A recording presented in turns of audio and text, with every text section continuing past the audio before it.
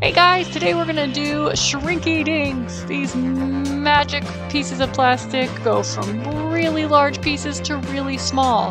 To start off, we're going to set our ovens at 350 degrees.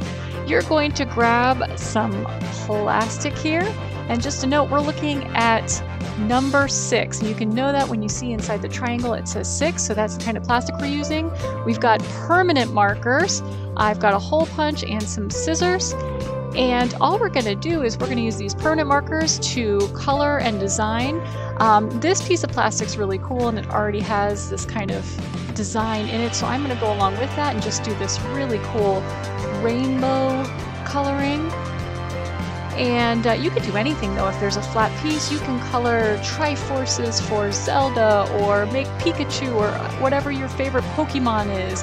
If you want to write your name out, make smiley faces, peace signs, Maybe you want to make your school mascot, whatever you'd like to draw, the sky is the limit. You just draw it, it's completely up to you. So we're going to, as you see here, I've, I've finished with my rainbow colors. I'm just trying to add a little black outline here. I'm just about done. And what we're going to do next after we've colored everything in is we're going to grab that pair of scissors and we're to cut along the outside of our image. You see that's nice and pretty, kind of looks like stained glass.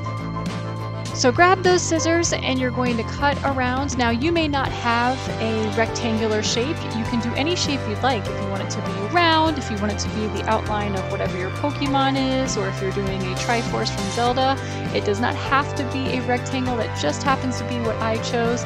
And if you color those side ridges, those also will flatten and come out really nice as well. Alright, so now I've cut it out. I'm going to take my hole punch and I'm just going to put one hole punch in here. And we do this so that we can either make it a keychain or we can put it on a necklace, whatever we'd like to do. Alright, we're going to take our finished piece and put it on a lined cookie sheet and we're to put it in the oven for one minute. Now, after one minute time, don't freak out. Yours might look a little crinkled and that's okay. That's alright. Throw it back in for another minute and once it's done that next minute, it'll flatten out. Oh my goodness, look at how cute it is. And it still has that hole where we hole punch, so we'll be able to use that. Now, it's going to be hot, so don't touch it immediately or use something that's metal to kind of make sure that it's nice and steady and ready to be picked up.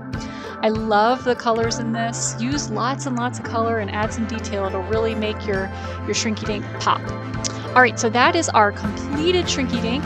Now, I have included in all of your packets a nice little necklace that you can use to put your Shrinky Dink on, little chain, uh, chain necklace right there. You can just put that right on through the hole. It should fit right through a standard size hole punch. So you should be good to go. And pop it right on through. And voila! Now you don't have to make it a necklace, you can make it a keychain, you can make earrings, so many different options, but check this out, our magic Shrinky Dink art. Hope you had fun, enjoy!